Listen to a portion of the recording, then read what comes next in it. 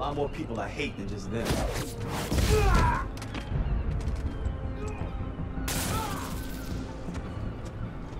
Huh.